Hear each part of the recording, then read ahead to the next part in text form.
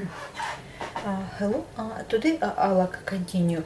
Uh, Easter recipes and uh, it's um, recipe called Easter egg uh, caramel slice. So what we need for that is we need um, a rectangular slab pan which is we grease with a cooking uh, spray and uh, align with a baking paper to make sure it's actually two centimeters just to put two fingers sort of. And it will be overlap right around because we need it slightly tall. So this ba base is 16 um, 16 and half centimeter by 26 centimeter uh, by base measurement. Uh, so once we uh, grease and line uh, let it uh, sit um, just uh, on the side um, and what we do is with our recipe, we combine uh, one and a half cup of a plain uh, flour. We place it uh, all that in a food uh, processor. You can use also a blender as well. Um, then uh, we can place uh, one third of a cup caster sugar and we have 80 gram of chopped butter. So what we do is next, we process it all together uh, until it's all combined. And then we can, um, once mixture uh, resemble crumbles, uh, then we can add one yolk and two tablespoons of cold water.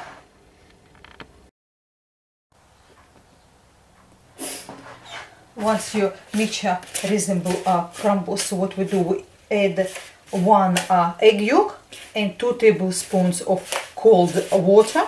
And as you can see mixture now almost come together like that. It's not exactly come into ball but it's almost come together. So what we do is next we place our mixture into prepared pan and we will press it with the help of spoon.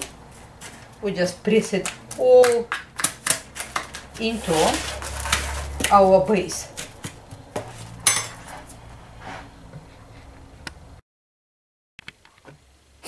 Once we press our mixture uh, on bottom of our that's what how it's look like now. So we will place in the oven uh, preheated to 180 degrees Celsius or 350 uh, Fahrenheit for 15 minutes or until it's just a light golden. Then we set aside to cool and we uh, unwrap our Easter eggs, which is I done it already.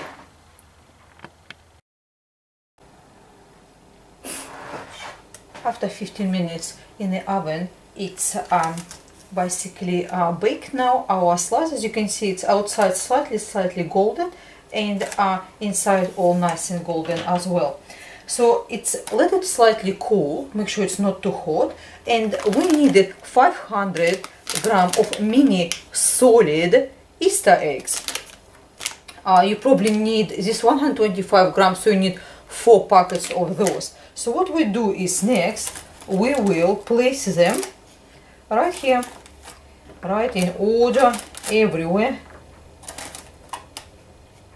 until we fill up all the areas right on top of our slicer.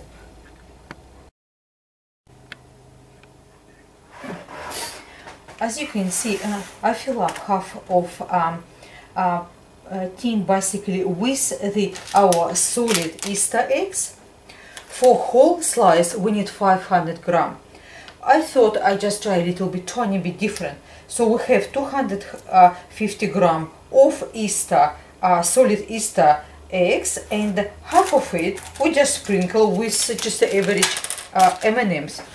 And uh, um, uh, I just like to try to see what will happen, what slice will look like if we have it uh, with Easter eggs or M&Ms. So next step is we have a desiccated coconut, which is we use one cup of it, and we sprinkle right on top of our uh, entire slice.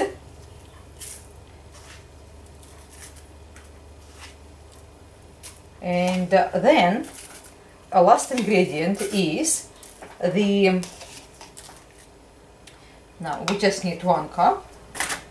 That's nice and last ingredient is one can which is 395 gram of condensed milk. What we do with that? We drizzle right around everywhere until we use all entire can. Then once it's all done we will place in the oven bag back in the oven for about 28 to 30 minutes depend on your oven until uh, top will nice and um, golden. Once you finish with your uh, all condensed milk place it in the oven for about 28 to 30 minutes until it's golden uh, and center it's a firm to touch. Sides will be slightly slightly golden and you can see they slightly come off from edges